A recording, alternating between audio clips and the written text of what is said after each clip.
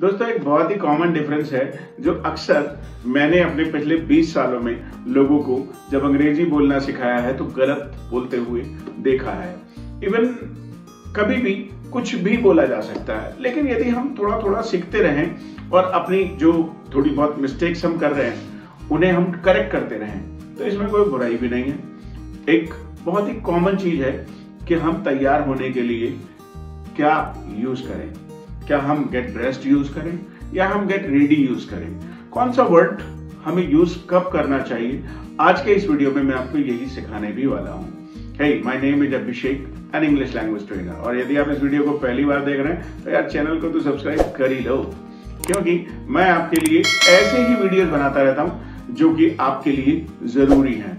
I don't produce a lot of common content मैं बहुत सारे वो वीडियोस नहीं बनाता, जो इंग्लिश आपको पहले से आती है। मैं कुछ ऐसी चीज़ें सोचता रहता हूँ, देखता रहता हूँ, जो कि आपको कंफ्यूज करती हैं या फिर आप उसमें मिस्टेक कर सकते हैं। तो गेट रेडी और गेट ड्रेस्ड दोनों में क्या अंतर है? दोस्तों, जब कभी भी हम कपड़े पहनकर तैयार होते हैं तो उसे हम गेट ड्रेस कहते हैं। जैसे नहाने के बाद आप कपड़े पहनते हैं यू गेट ड्रेस्ड लेकिन गेट रेडी आप किसी भी चीज़ के लिए तैयार होने को कह सकते हैं। पार्टी के लिए। तो आप कपड़े तो पहनते ही हैं, लेकिन you get ready for the party जैसे इनफैक्ट यदि आपकी इंगेजमेंट है, आप तैयार हुए हुए बैठे हैं, और इधर से लड़की वाले आ गए तो फिर तैयार तो आप पहले से हुए बैठे ना यू आर ऑलरेडी ड्रेस्ड घर वाले आपसे कहेंगे get ready for the engagement आपने पेपर में अच्छा नहीं किया, और आप रिज़ल्ट लेकर आए हो खराब। तो मम्मी कहेंगे, बेटा, तू तैयार हो जा पिटने के लिए।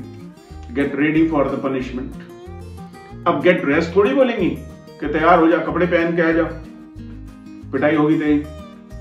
बल्कि पिटाई के समय तो इवन कपड़े उतरेंगे, क्योंकि डंडा तभी अच्छे से चलेगा। राइट तो गेट रेडी अलग है गेट ड्रेस अलग है। आप सोचिए, आपका इंटरव्यू है।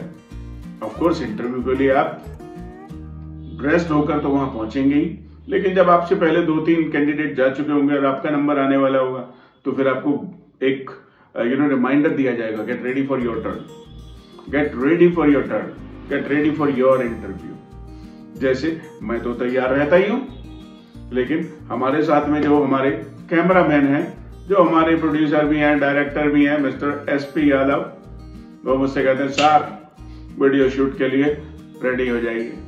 तो गेट ड्रेस नहीं क्योंकि मैं तो एक ही ड्रेस में बहुत सारी वीडियोस बना देता हूँ। I don't have time every day हर रोज तो मेरे पास टाइम नहीं होता। तो जिस दिन भी, क्योंकि मुझे इंग्लिश बोलना सिखाना है आपको। ड्रेसेस वगैरह पर भी मेरा तो बहुत ज़्यादा ध्यान नहीं है। So I get ready for shoot I get ready for shoot I don't get dressed मैं तैयार नहीं होता। तैयार तो मैं सुबह को जब नहाता हूँ I always get dressed so when do you get dressed अब तैयार कपड़े पहनकर कब होते हो? सारा दिन। सारा दिन कपड़े ही बदलते रहते हो। लेकिन जब कभी भी कोई खास इवेंट होता है मीटिंग है मीटिंग के लिए तैयार हो जाओ get ready for the meeting get ready for the class get ready for the practice get ready for your performance get ready for the dance get ready for the punishment get ready to pay the fine तो get ready बिल्कुल अलग है get dressed जब कभी भी हम कपड़े पहनेंगे, नहा के तैयार होना get dressed. You get dressed generally in the morning. You get dressed for the party.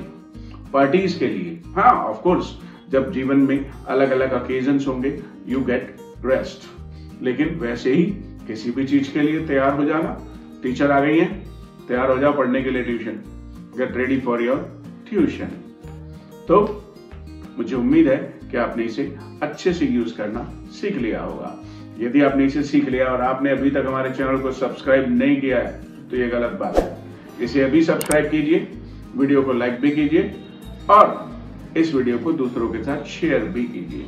आप इसे फेसबुक इंस्टाग्राम या फिर व्हाट्सएप पर भी शेयर कर सकते हैं। आप अपने स्टेटस पे इसे लगा सकते हैं ताकि ज़्यादातर लोगों को अभिषेक सर के इस चैनल के बारे में पता चल जाए। मिलते हैं आपसे फिर एक नई वीडियो के साथ। Thank you